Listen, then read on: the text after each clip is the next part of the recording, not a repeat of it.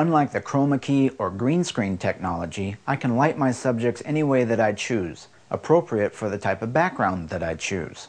But most importantly, I can see the image that I'm about to create in the camera's viewfinder before I make the exposure. There's no post-processing necessary in a computer. That all takes time and personnel.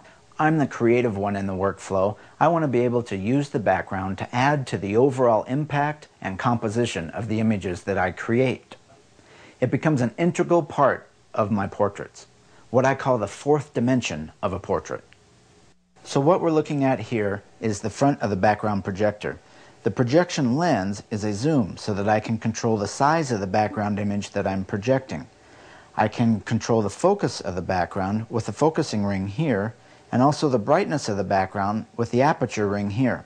I can position the background just this easy and position it exactly where I want or I can simply change backgrounds this fast.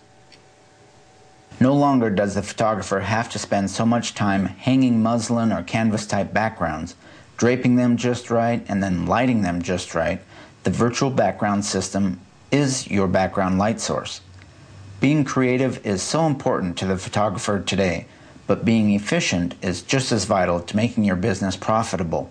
Workflow is a big buzzword in today's photography business. A virtual background system is the photographer's workflow solution to providing their clients with more variety.